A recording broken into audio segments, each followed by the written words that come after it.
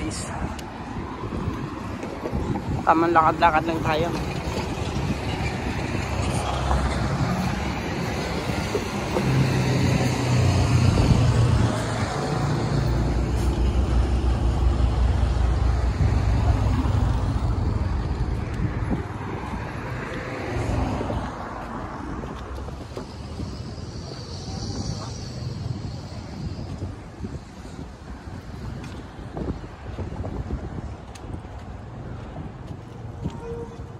Here the bridge.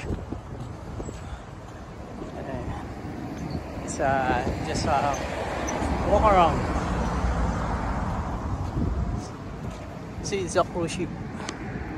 There. Five cruise ship